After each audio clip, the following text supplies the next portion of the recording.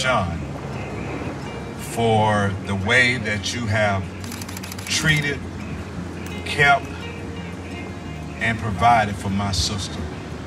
I thank you so much for how you have been the man and you are the man.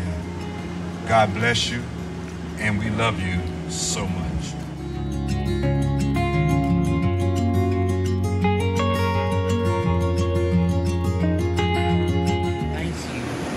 Being a loving husband and a loving father. I hope that we have 18 years plus together. I love you so much.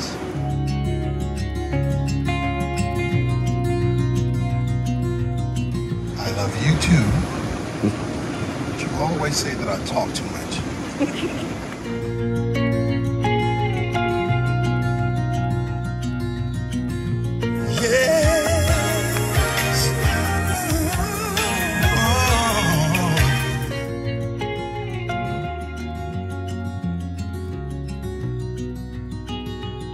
I feel so free. I feel that love feel in my heart when I'm with you. you.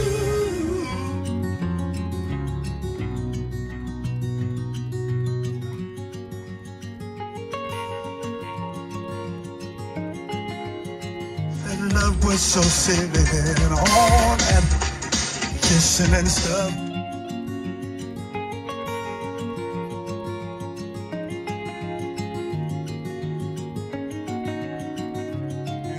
All spiritual benediction and grace, that you may continue your lives together in this life, that in the world to come you may have life everlasting in the presence of God through our Lord Jesus Christ. Amen.